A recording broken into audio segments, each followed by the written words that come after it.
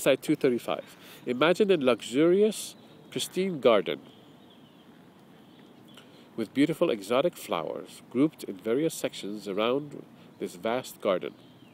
It has waterfalls and water running through it and pathways with easy resting chairs spread throughout. This garden does not have fences, gates, and guards. Does not have.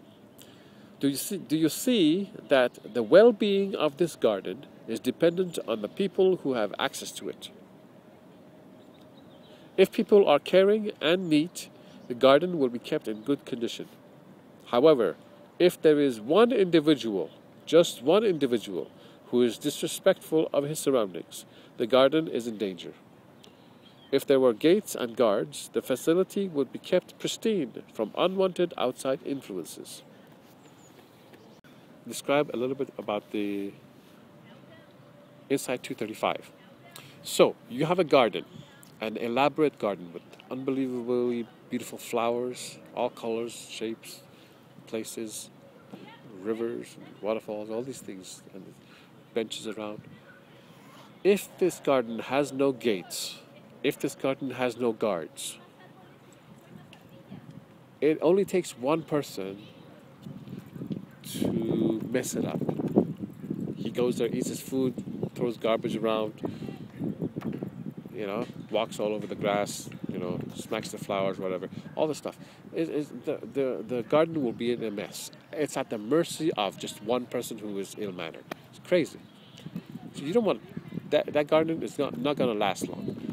You know, so when you build a garden, it has precious things in it. You want to be kept, you want to have this garden kept in a very good condition. You have to have guards, you have to have gates, right? Cleaning crew, crew, and all the stuff, right? Maintainers of the garden. Now, think of your mind. The mind has to be guarded similar to this garden. Your mind is precious. All sorts of things is happening in, in your mind, and you use your mind. So it's, it's very dear to you.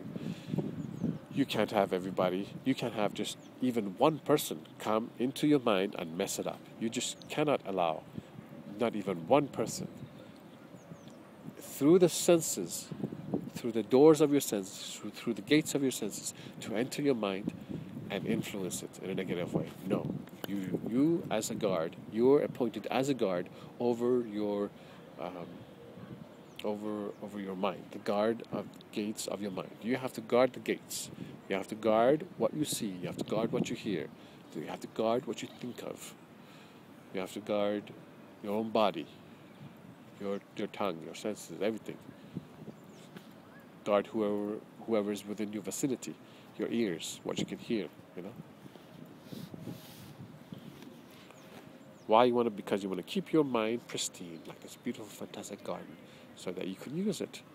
My God, have you, uh, you know, have you been to such a garden where the flowers are just fantastic, super, and the flow of water, and you sit there and you see the swans. Such a such a fantastic pleasure it is to be in such a garden, you know. The smells of the flowers, you know, and so think of your mind this way. If your mind was this, ah, such a pleasure your mind would be for you to experience your mind in this pure, pure state. You experience yourself, others interacting with you. It's fantastic. So keep it clean. Clean your mind and keep it clean. Be the guard. Don't allow anybody to come into your mind, disturbing it through your senses. Okay?